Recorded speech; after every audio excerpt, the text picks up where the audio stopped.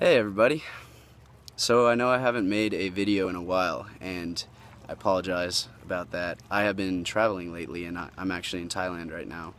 Uh, but I have wanted to make this video for a while. Uh, this video is going to be about the only spiritual practice that matters. In my experience, in my opinion, there's only one spiritual practice that matters. And that's because there's only one spiritual practice that leads to the end of practice. There's only one spiritual practice that ends the spiritual search, this seeking, this craving for something more.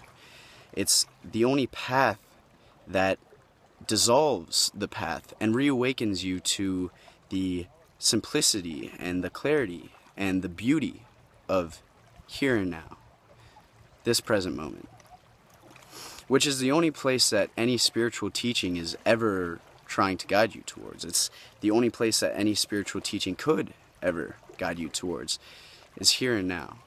But for many people, the spiritual journey has taken them away from the present moment as they seek some deeper um, experience, some more complete state of enlightenment or liberation or freedom. And the sense is that this state can only be achieved in the future after you've learned more, or done more, or practiced more. Uh, but in reality, ironically, you can only find that deepened state, that heightened experience, that liberated, enlightened state by becoming more intimate with what's here and now, by becoming more present, by settling into this moment. So, with all that in mind, the only spiritual practice that matters, I call it, there are many names for it, but I call it breathe in love. Breathe in love. Breathe in love. Breathe out bliss. Breathe in love is another way of saying love your own heart or fall in love with the present moment. Fall in love with everything that enters your awareness, everything that's in your experience of life at this moment. So, this practice basically consists of becoming present, allowing your mind to settle, and flooding your body, filling your whole being with love and radiating that love outwards in all directions, indiscriminately, unconditionally, like the sun giving off light. And also radiating that love inwards, towards your own heart, towards yourself. Breathe in love means taking a moment to tell yourself authentically, genuinely, I love you. When's the last time you've told yourself, I love you?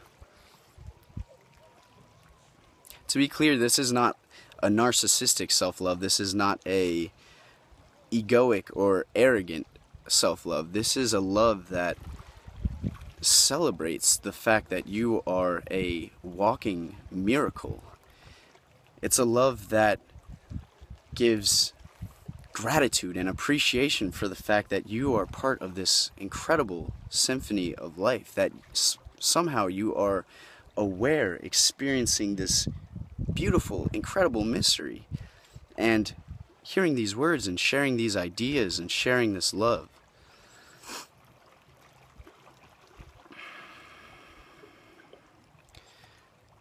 Breathe in love is a celebration. And it feels so good.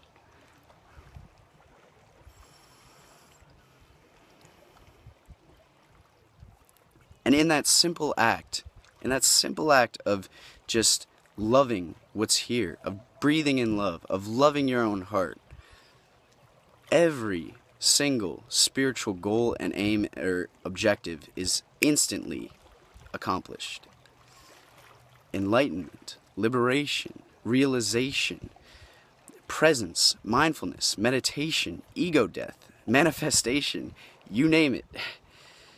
They're all instantly accomplished through the simple practice of breathe in love. And for that reason, breathe in love is the end of the spiritual search. It's the end of seeking. It's the end of this sense that you need something more before you can be enlightened, that you need something, some deeper experience. The reality of the fact is that you already are a divine, enlightened, miraculous being. And remembering that comes with becoming more intimate with what's already here in this moment, with breathe in love. So I hope that helps. I love you.